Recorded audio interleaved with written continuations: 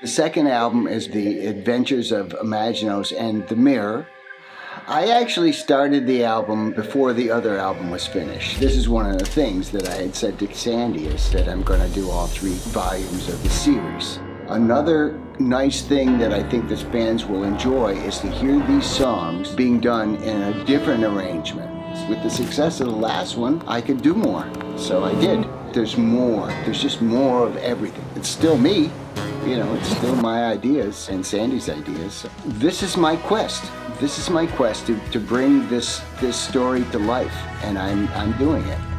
You know, I have another record to go after this, but I'm going to do all three of them. That's for sure.